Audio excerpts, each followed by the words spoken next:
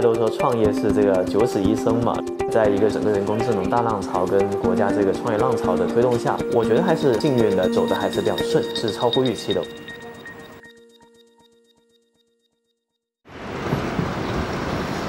我叫陈振杰，是极视角科技的创始人。我来自澳门，我是在一四年来深圳的，当时过来实习，在腾讯。毕业之后在那个腾讯，待遇还是挺丰厚的。但整体来说，我觉得就是那种价值感和成就感会没那么强。因为我觉得我自己的成就模型来源于创造，后来就觉得出来创业。这两个颜色差不明显，对，就等于多一个层次，更加点边缘。其实为什么我会选择呃人工智能作为我整个的创业方向呢？当时我们感觉，首先这个赛道非常有前景。第二个呢，我们会看到这一个赛道实际上它是一个智力和技术密集型的一个赛道，它比较适合我们，我们就开始做这个行业了。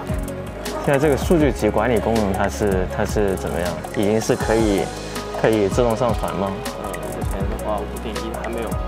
OK，就下个版本才是自动上传，现在是可以导出来是吧？嗯。极视角是一个计算机视觉领域的开发平台、分发平台、交易平台，其实就是做出不同的算法，面向于不同场景，由极视角这个平台来去服务到各种各样的企业客户。那这款是我们在疫情期间的一个防疫产品。我们这款产品呢，主要是去检测有没有戴口罩。我们把口罩摘了，上面就会有一个红色的报警信号，去告诉大家。像是口罩检测这样的一些图像识别的产品，有 X 光红外线检测仪，这两款是我们当时面向疫情期间推出的产品。所以其实我们的算法已经用在很多地方政府，像是珠海的智慧城管的一些系统，长沙、成都、江门非常多的智慧城市项目。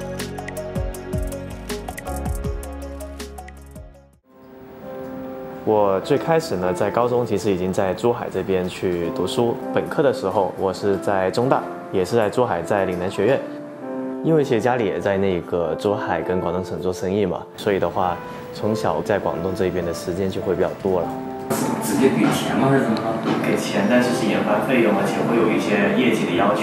研究生我在光华读硕博，就企业管理这一块。比较小的时候呢，因为这种商业的渲染，从小我就觉得希望未来是自己做生意、创业。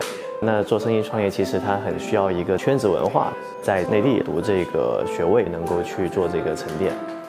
极视角其实最开始是一四年我们在澳门成立的，但是在这种早期投资呢，它是相对比较欠缺的，所以我们找了一圈都没有在澳门找到一些合适的投资机构，见了一两百个投资人才找到了我们这个天使投资人。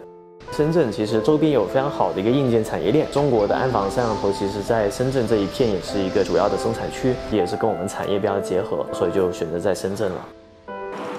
然后有了资金之后，其实呢，我们也不断会有更多新的挑战。呃，第一步往往是最难的，特别是科技创业从技术转到商业的应用。比如说我做一个人流的一些统计，那我在户外，它可能下雨怎么办，对吧？比如摄像头被遮挡怎么办？然后角度不对怎么办？包括它的性能要求有多高，就不能有 bug，考虑的东西会一下子变多了很多，就整个系统会复杂化很多。安装的项目最开始我们全都要自己上的。极视角的第一个客户产品会涉及到监控摄像头，监控摄像头在天花板是要走线的，它其实是那种管道式的天花板，所以当时我也只能够亲自爬上去，然后把这个线全部走完，差不多三到四个通宵。所以其实从那次开始，我们就还是有深刻的意识，这个创业的确比打工要辛苦多，但是创业给你带来的是一种不一样的成就感和满足感。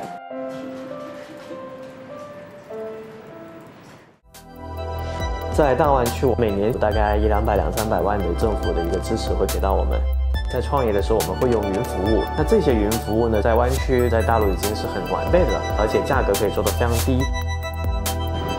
无论是香港、澳门，它的本身的区域是非常小的。那我觉得，可能作为年轻人，更多他应该是拥抱一个大的未来、大行业、大机会。那这个机会毫无疑问肯定是在大陆这边的。